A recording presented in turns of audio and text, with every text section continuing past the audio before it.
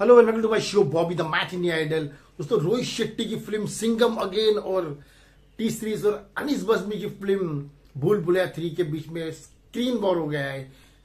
दोनों फ़िल्मों को ज़्यादा से ज़्यादा स्क्रीन चाहिए क्योंकि दिवाली है बम्पर ओपनिंग मिलेगी दोनों फ़िल्मों को तो ज़्यादा स्क्रीन मिलेगी तो ज़्यादा प्रॉफिट होगा। इस तरह दोनों फ़िल्मों का झगड़ा हो रहा है किसको ज़्यादा स्क्रीन मिलेगी। फिफ्टी फिफ्टी मिलेगी या सिक्सटी फोर्टी मिलेगी सेवेंटी फाइव ट्वेंटी फाइव मिलेगी, क्या मिलेगा पता नहीं। दोनों जो वॉर कर रहे हैं दोनों लोग। सबसे सबसे ज़्यादा स्क्रीन हमको जैसे भी जैसे भी झगड़ा, एक बार इसका सेम झगड़ा हो गया था सन ऑफ़ सरदार और जब तक ही जान, वो दोनों में वॉर हो गया था। तो यश चोपड़ा जी ने ज़्यादा स्क्रीन ले ली थी। यश जी वॉज़ कोई सीनियर डायरेक्टर तो उनको ज़्यादा स्क्रीन दे दिए थे। उसकी वजह शाहरुख खान अजय देवगन सालों से बात नहीं कर रहे थे। लेकिन ये झगड़ा अभी अभी अभी शुरू हुआ है मतलब अभी कुछ सालों से जब से मल्टीप्लेक्स आए थे भी सिंगल स्क्रीन था आराम से दो फ़िल्में रिलीज़ होती थी। तीन फ़िल्में रिलीज़ होती कोई झगड़ा नहीं। जब गेटी में एक फ़िल्म दूसरी फ़िल्म गैलेक्सी में। अगर तीसरी फ़िल्म में तो नंदी है बैना टॉकीज है। तीन फ़िल्में आराम से चलती है। अभी ये इतने स्क्रीन होने के बावजूद भी लोग झगड़ा कर, झगड़ा करे उस उस पर दिन में सिर्फ़ चार शो होते थे एक थिएटर में। अभी एक थिएटर में सारा दिन में पच्चीस पच्चीस शो होते फिर भी रो रहे लोग। दोनों झगड़ा कर रहे हैं। क्या क्या कर लेने वाले?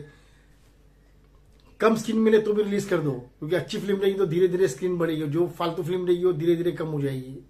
एक हफ़्ते के अंदर ही दोस्तों। This is the real thing what I am telling about multiplex multiplex इसी के बाप का नहीं, कोई भी कितना भी बड़ा हीरो लेके आओ।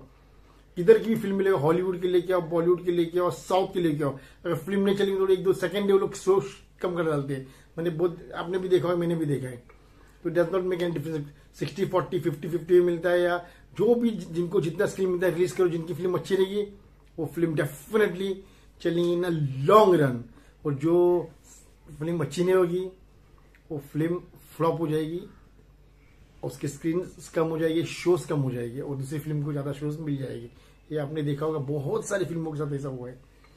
तो देखते हैं, दोनों फ़िल्मों के वॉर में कौन बाजी मारता है स्क्रीन में, और जब फ़िल्म रिलीज़ होती है तो कौन बाजी मारता है? हालाँकि बम्पर बड़ी ओपनिंग तो मुझे लगता है सिंगबम को भी मिलेगी कि वो बहुत बड़ी पिक्चर है। भूल भुला ही बड़ी पिक्चर लेकिन इसमें बहुत सारे स्टार्स है तो ज़ाहिर बात है पहले ऑडियंस सिंगम को ही देखेगी। मुझे ऐसा लग रहा है। लेट्स सी भूल भुलैया भी पब्लिक जाएगी देखने के लिए, लेकिन थोड़ा उसको, उसके मुकाबले कम ओपनिंग लगी ऐसा मुझे लग रहा है। लेट्स वेट एंड वॉच क्या होता है। स्क्रीन वॉर के चक्कर में कौन सी फ़िल्म बाजी मारेगी, ये फ़र्स्ट नवंबर को पता चलेगा। Till then, keep watching my channel Bobby the Mac Tales by saying goodbye and God bless you guys.